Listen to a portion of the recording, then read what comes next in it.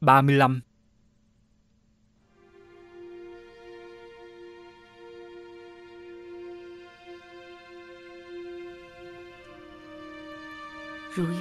Như Ngọc Chị từng đồng ý với cha. Nhất định sẽ bảo vệ tốt gia đình của mình. Em chờ chị. Chị nhất định sẽ cứu em và Diễn Lai ra.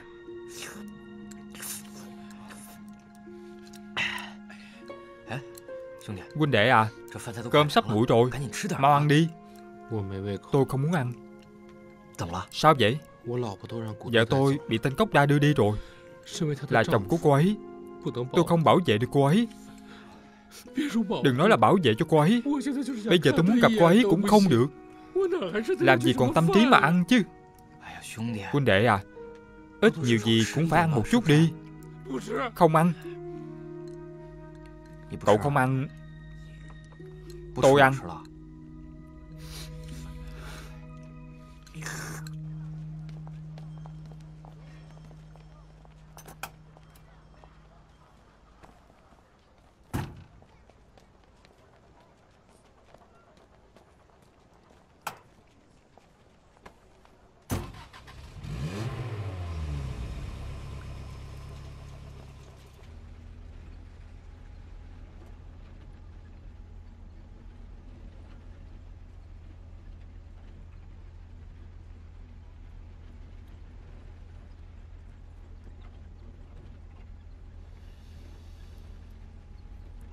Nhị tiểu thư. Cô và đại tiểu thư Từ trước tới nay chưa từng coi trọng tôi. Tại sao chứ? Chúng tôi vốn dĩ coi thường cậu. Chu Lập Văn không phải người tốt. Cậu thì ngay cả con người Cũng không xứng.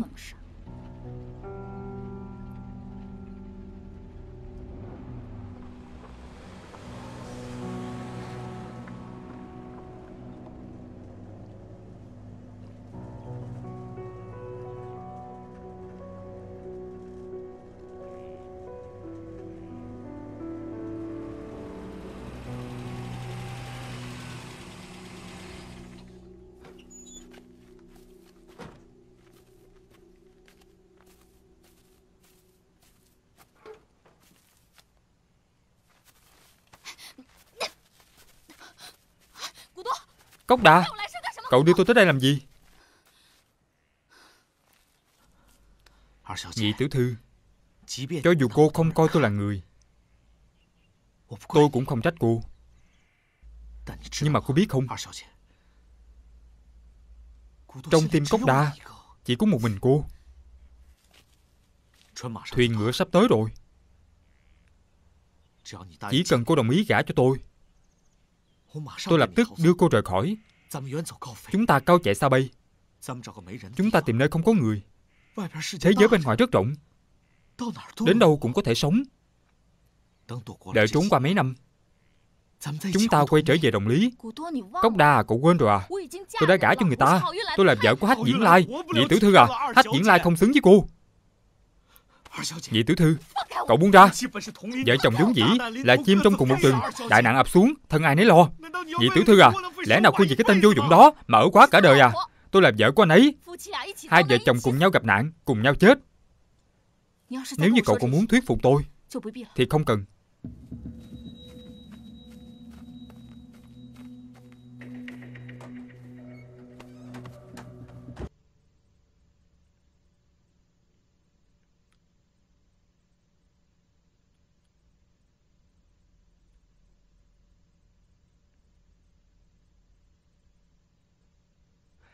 Cốc đà Tên khốn kiếp.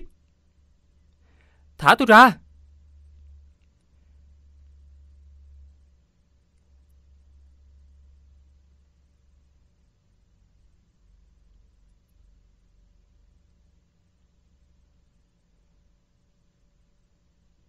Cốc đà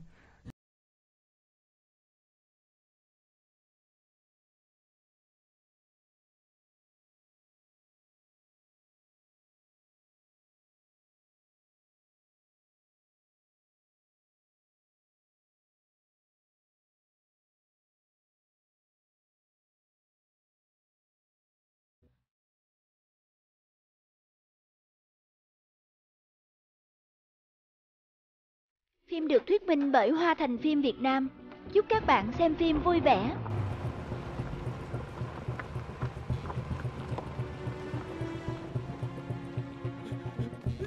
Cứu mạng! Cứu mạng! Sao vậy? Tôi cũng không biết tại sao Bọn họ đều nằm xuống rồi. Sao vậy? Sao rồi? Mau nói đi. Tỉnh lại đi. Sao vậy? Tỉnh lại. Tỉnh lại đi. Có chuyện gì vậy? Vừa nãy vẫn còn tốt mà. Toàn bộ đều nằm xuống hết rồi. Tỉnh lại đi, Sao vậy?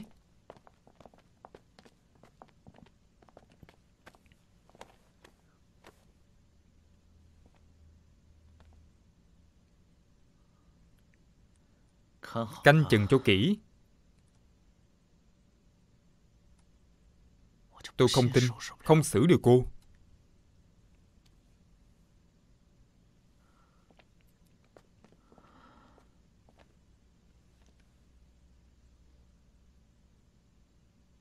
Nhị tiểu thư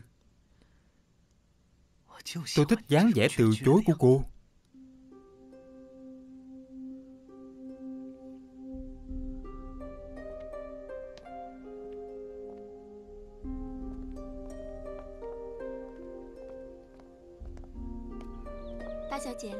Đại tiểu thư, mời vào trong. Tôi không cần vào đâu. Phiền cô giúp tôi chuyển lời. Tôi chờ ngoài cửa. Dân, chờ một chút.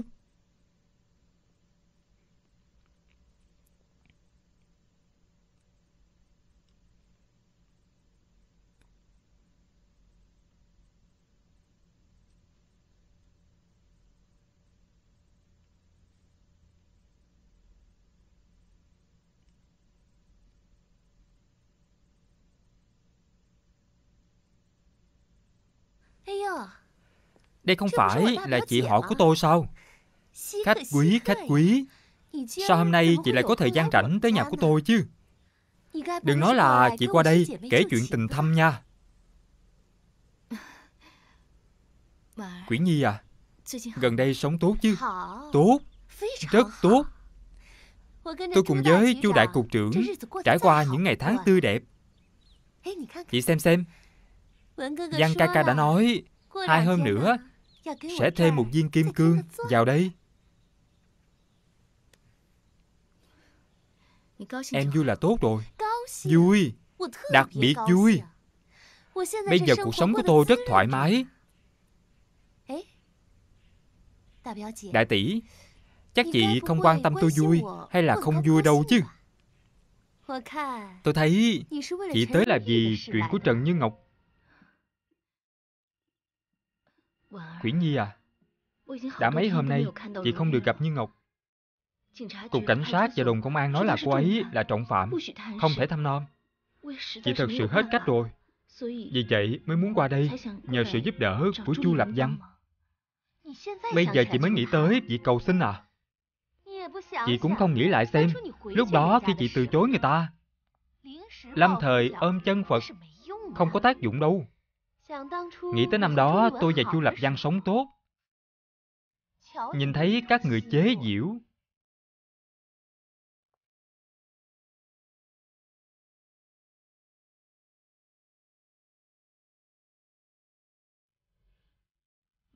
Quyển Nhi à?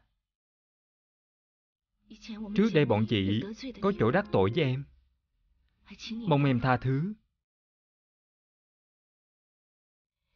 Bây giờ Như Ngọc gặp nạn. Coi như nể tình chúng ta cùng nhau trưởng thành. Em mau giúp chị nghĩ cách đi.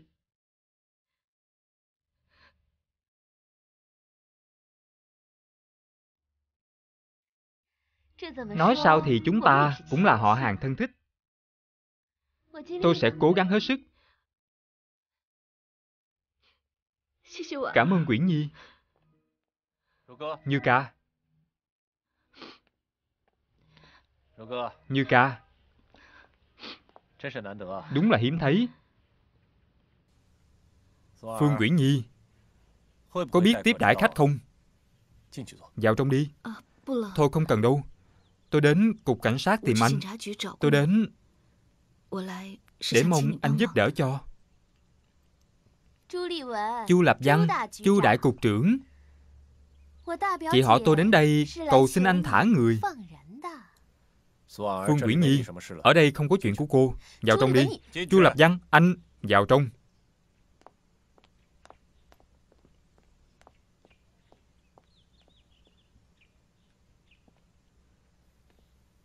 Chuyện mà em vừa nói liên quan rất lớn tới ngài Kashiwa. Quyền quyết định toàn bộ nằm trong tay của ông ấy. Anh lực bất tòng tâm. Vậy tại sao có nhiều người được thả mà vẫn giữ lại Như Ngọc và Hách Diễn Lai? Hai người bọn họ có hiểm nghi. Diễn Lai nhát gan như vậy, Như Ngọc càng không thể có liên quan tới chuyện này. Các anh cần bao nhiêu tiền? Tôi có thể đem tất cả tài sản của tôi đưa hết cho các anh. Đây không phải là vấn đề tiền nông. Vậy là chuyện gì?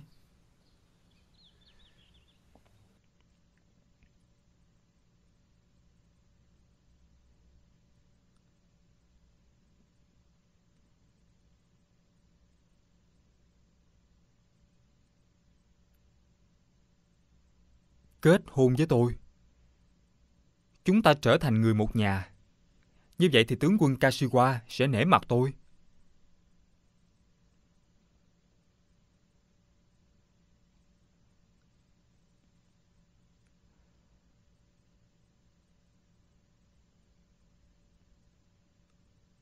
Tôi muốn gặp Như Ngọc. Được chứ?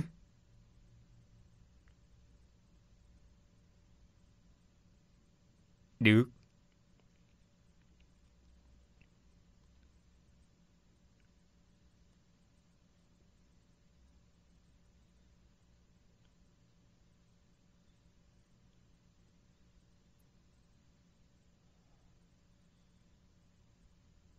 Nước.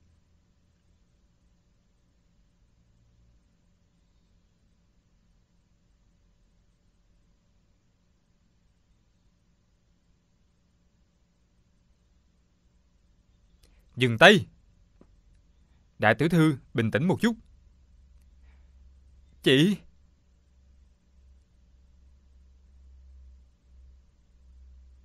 Nhưng Ngọc không chịu khổ gì. Chúng tôi không trói cô ấy, không đánh cô ấy. Chu Lập Văn, anh rốt cuộc muốn gì? Tôi chỉ cần em. Nằm mơ! Nằm mơ à? Cục trưởng, Hai cực hình băng lửa đều không có tác dụng. Nước ớt cây chúng tôi cũng đã chuẩn bị xong. Ớt của Hải Nam, ớt của Hồ Nam, đúng. Còn có ớt của Tứ Xuyên. Anh thích mùi nào nhất? Cốc đà, dừng tay. Chị, đừng đồng ý với bọn chúng. Cùng lắm là chết. Chị nhất định không được đồng ý. Đừng đồng ý với bọn chúng. Chu Lập Văn, rốt cuộc phải làm sao anh mới chịu thả như Ngọc Tôi muốn em gả cho tôi. Bây giờ em có thể không trả lời. Tôi cho em thời gian một ngày suy nghĩ. Nếu như ngày mai tôi không nhận được đáp án Hoặc là đáp án tôi không hài lòng Như Ngọc sẽ chịu cực hình gấp bội. Đừng đồng ý với bọn chúng. Chị à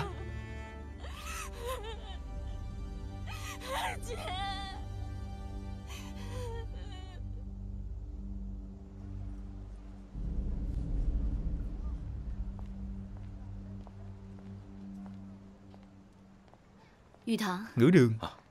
Như ca. Sao anh lại tới. Anh vừa biết được chuyện của Như ca. Có điều em đừng lo lắng. Anh đi tìm Chu Lập Văn đòi người. Không được. Anh bị Kashiwa và Kitano khống chế. Còn khó bảo vệ cho bản thân. Dưới trướng của anh còn bao nhiêu huynh đệ? Em không thể làm khó anh. Anh biết là em sợ liên lụy. Nhưng mà nếu như bỏ qua Cơ hội cứu Như Ngọc và Diễn Lai. Vậy thì anh sẽ hối hận cả đời anh không dám nói chắc chắn thành công. Nhưng mà anh sẽ cố hết sức.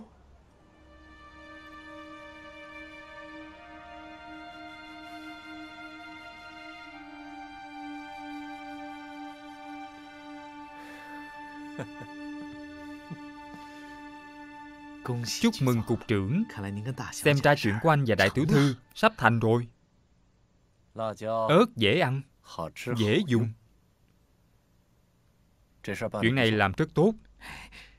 Không dám không dám. Báo cáo. Cục trưởng Cận sư trưởng liên quan gì tới họ Trần nữa chứ? Lo chuyện báo động làm gì? Rốt cuộc cậu thả hay không?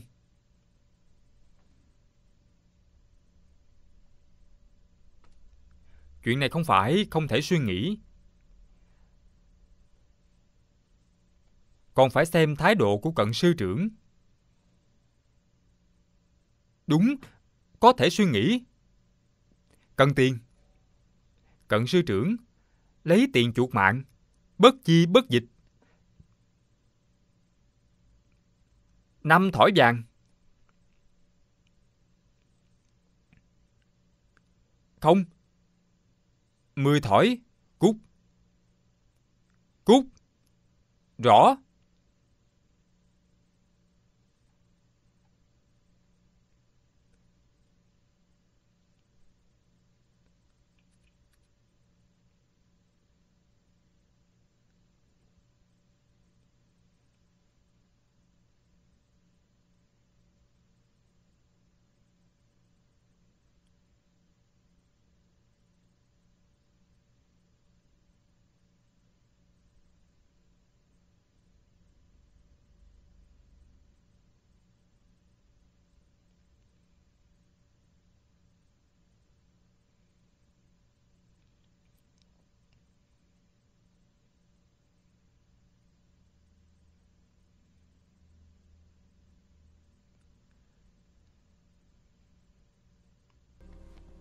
Cận sư trưởng lao dậy thật sáng.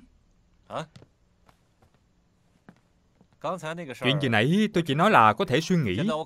Bây giờ đã suy nghĩ xong. Vẫn là không thả người.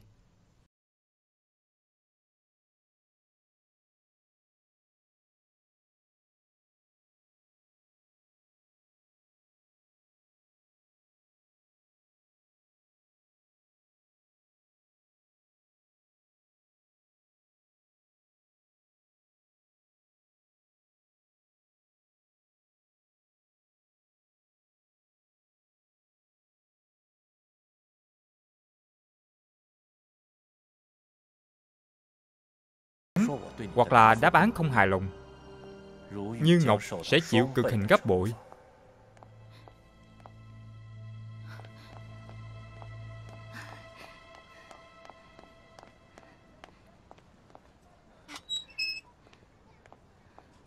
Như ca à, anh xin lỗi.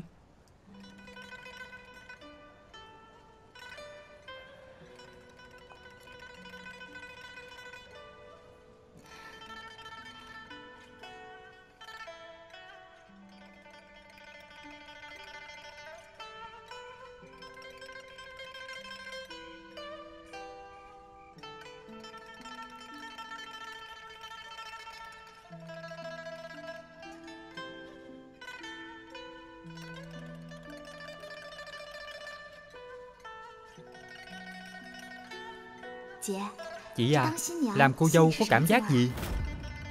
Chị không biết người phụ nữ khác xuất giá có cảm giác gì。Nhưng mà chị luôn cảm thấy không vui Vừa nghĩ tới phải rời xa em Rời xa cha mẹ Trong lòng chị cảm thấy rất buồn。Nhưng mà phụ nữ sớm muộn gì cũng phải xuất giá mà。Con không muốn đi Con muốn ở lại cùng với mẹ và chị。Muốn chết thì cùng nhau chết。Như ca Như Ngọc giao cho con Mẹ à Mẹ yên tâm đi.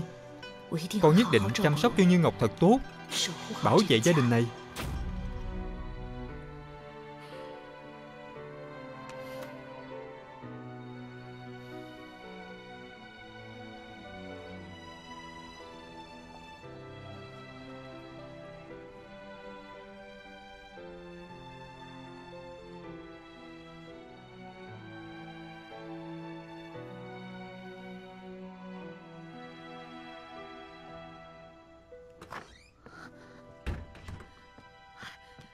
Chị à, chị nghe chưa?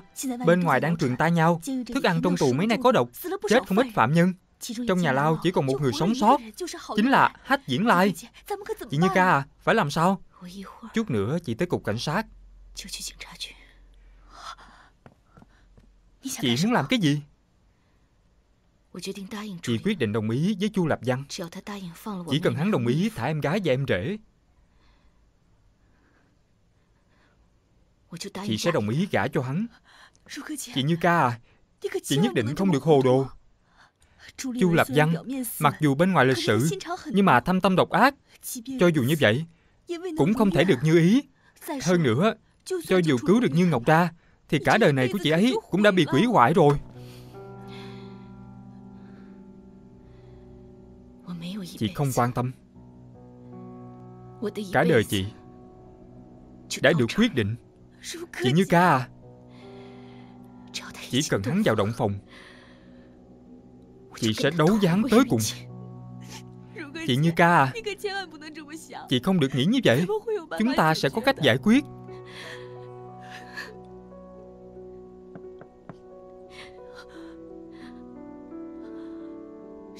Ai? Là anh Phương Nguyên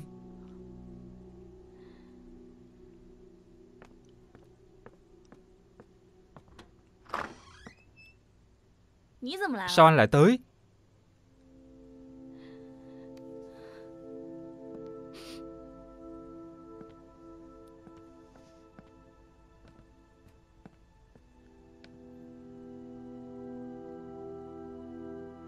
Anh tới cứu Như Ngọc. Cô ấy là em gái của em. Cũng là em gái của anh.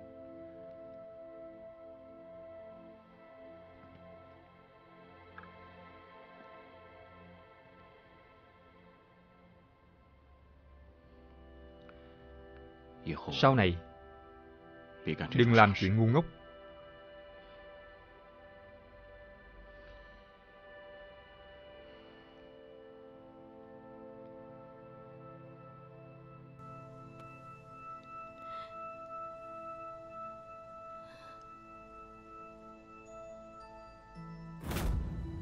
Chính là chiếc khăn tay này.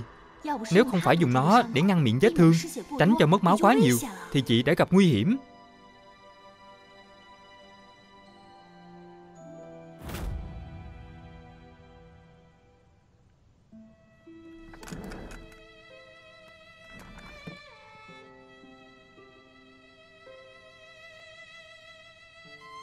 Cha. Mẹ. Sau này con kết hôn. Cô dâu là con. Chú rể chỉ có thể là Phương Nguyên. Cháu thích Như ca. Không gặp được cô ấy. Cháu sẽ rất bất an. Vừa gặp cô ấy Cháu liền rất vui. Vừa mới xa nhau Cháu liền cảm thấy nhớ rồi. Mạng của cháu. Đời này gắn liền với Trần Như ca Chỉ cần cháu còn sống Cháu sẽ bảo vệ cô ấy thật tốt. Anh lấy cái gì để cho em tin tưởng? Em chỉ biết lúc em cần một người ở bên cạnh nhất Bảo vệ cho em nhất Cận ngửa đường vẫn luôn ở cạnh em. Phương Nguyên anh đang ở đâu? Anh vẫn luôn ở phía sau bảo vệ cho em. Em tin chứ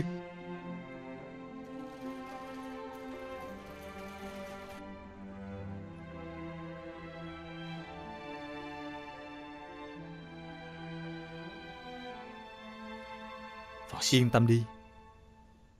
Tất cả cứ giao cho anh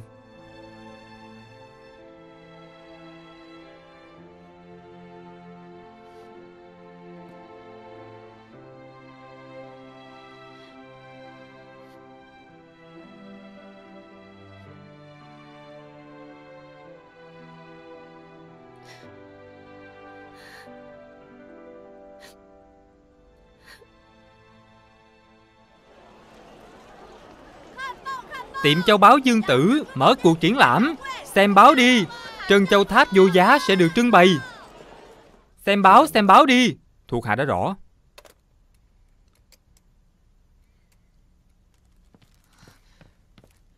Cục trưởng à Xem đi. Trân Châu Tháp.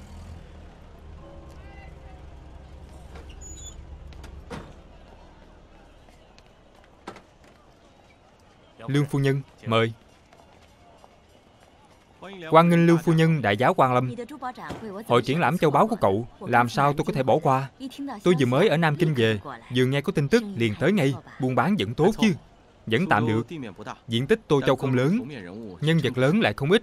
Nếu không phải có sự quan tâm của bà, Tiệm nhỏ đã sớm đóng cửa. Ông chủ Phương nói đùa rồi, Có sự góp mặt của Lương Phu Nhân, Ai ở thành Tô Châu này dám bắt nạt anh chứ? Phương Nguyên, sau này có chuyện gì thì trực tiếp tìm tôi. Tôi phải xem xem tên nào ăn gan hùm mà dám bắt nạt cậu. Cảm ơn Lương Phu Nhân. Bên trong đã sắp xếp xong, mời bà. Chờ đã, bên trong nhiều người tôi không thích.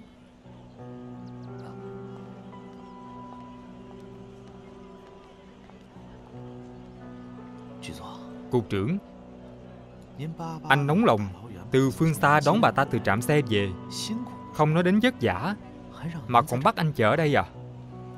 Bà ta không cho anh một chút mặt mũi nào hết. Chờ thì chờ. Bên trong nhiều người như vậy, Tôi còn chê phiền. Đi tản bộ thôi.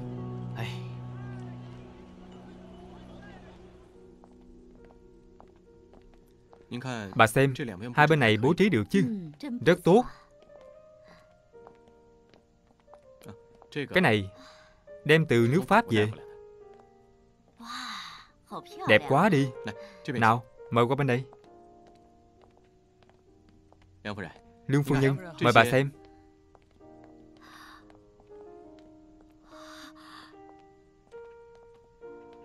Đây chính là Trân Châu Tháp trong truyền thuyết.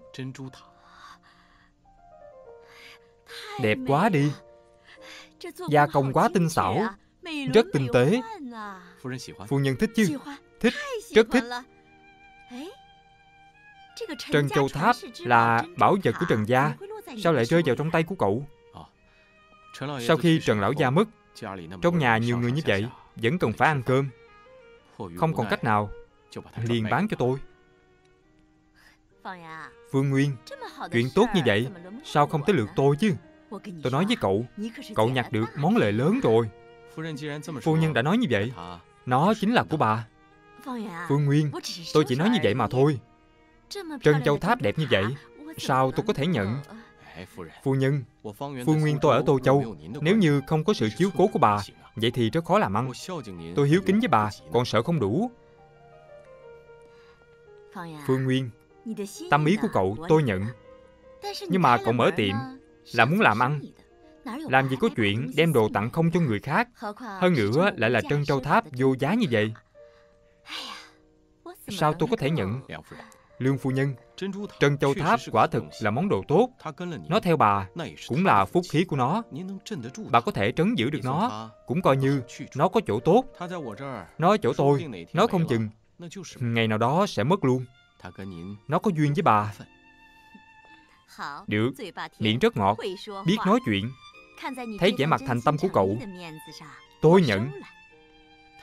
Tốt quá rồi. Mời Đem trà lên. Mời phu nhân.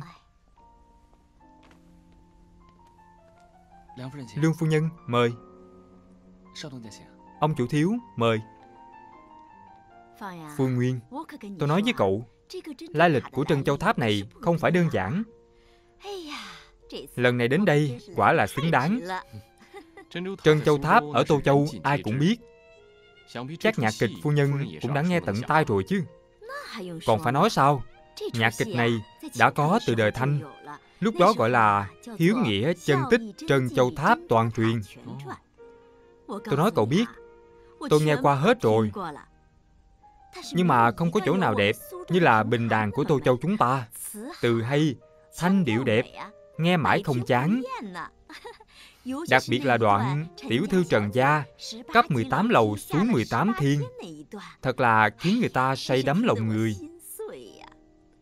Tôi nói với cậu Tôi còn có thể hát cho cậu nghe một đoạn. Trân Châu Tháp. Đỉnh Trân Châu Tháp Có một viên dạ Minh Châu. Quá ra phu nhân là người trong nghề. À phải Gần đây trong thành Tô Châu chúng ta có người nào hát đặc biệt hay không? Hình như có. Đoạn thời gian trước, bà ở Nam Kinh Có thể không biết thành Tô Châu Nổi danh một đôi vợ chồng hát bình đàn. Tuổi còn trẻ mà hát gian cả thành Tô Châu. Biệt danh là Tam Tuyệt Đáng. Tam Tuyệt Đáng? Tam Tuyệt nào? Tuyệt thứ nhất là Quá Trang. Nam Tài Kiệt, nữ xinh đẹp. Tuyệt thứ hai là Thanh Nhạc. Bọn họ là chân truyền của Nghiêm Tuyết Tùng và Châu Nghệ Chu Hát lên, âm dần du dương, dư âm văng vẳng Quá ra là truyền nhân của nghiêm điệu. Tốt quá rồi. Tôi nói với cậu, tôi thích nhất là nghiêm điệu. Vậy tuyệt thứ ba là gì? Tuyệt thứ ba, thật sự là có một không hai. Tuyệt về thân phận. Bà biết người nghệ nhân hát bình đàn là ai không? Là nhị tiểu thư của Trần Gia, Trần Như Ngọc. Trần Gia ở Đồng Lý à? Vậy Trân Châu Tháp không phải là từ nhà họ Trần mà ra sao? Đúng vậy. Bà nói xem, đối tượng này hát Trân Châu Tháp có coi là kinh điển ở trong kinh điển hay là không? Có, đương nhiên có. Người ở đâu? Mau mời cô ta qua đây. Người đúng là ở Tô Châu.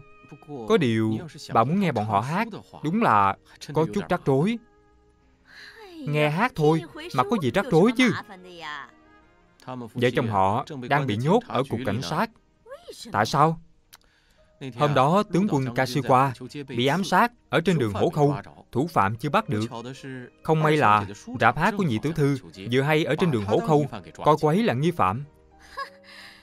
Một thiên kim tiểu thư yểu điệu thuộc nữ dám đi ám sát Kashiwa sao? Não Chu Lập Văn chắc chắn là bị súng bắn rồi. Đi, gọi Chu Lập Văn qua đây. Rõ. Phu nhân, mời uống trà.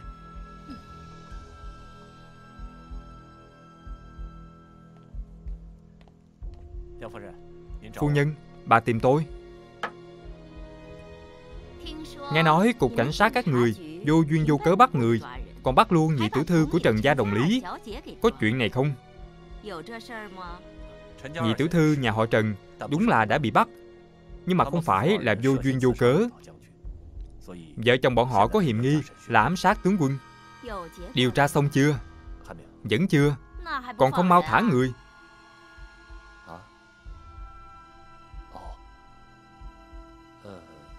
Thuộc hạ không thể làm chủ Cái này do tướng quân Kashiwa quyết định Vậy cậu không làm chủ được Tôi cũng không làm chủ được chứ Không Lương phu nhân có thể làm chủ Chỉ là Thuộc hạ thả người, Bên phía tướng quân, Bên phía tướng quân, Tôi sẽ nói dòng ấy.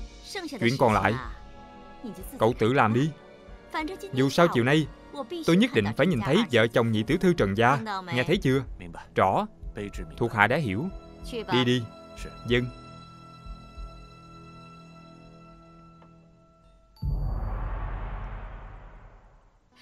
Cục cảnh sát làm trò gì vậy? Tôi xem, Ai dám động tới sợi lông của bọn họ? Tránh xa như ca một chút. Câu này tôi phải nói với cậu. Cậu tin tưởng như vậy Lương phu nhân đã đem Trân Châu Tháp đi sao Trân Châu Tháp cũng có thể giả sao? Đó là bảo vật giá trị liên thành. Cho dù là vì cứu người Hắn cũng không nỡ chứ. Hành động thanh hương của bọn Nhật sắp bắt đầu. Suối dục cận ngôn đường. Phương Thiếu Gia quả thực yêu cô Còn mạo hiểm đắc tội người Nhật Và Chu Lập Văn để cứu hai người bọn họ ra. Cốc Đa Tướng quân Kashiwa hạ lệnh Ngày ngày luôn bắt người mặc thường phục Giám sát ba tiệm thuốc lớn nhất trong thành Đề phòng du kích kháng Nhật mua thuốc. Trong Khánh Xuân Đường xuất hiện phần tử khả nghi, Mua được rất nhiều dược phẩm quân dụng, Bắt buộc bắt, Nhanh như vậy đã cắn câu rồi. Đội cảnh vệ toàn thể lên đường, Phá vỡ cục cảnh sát.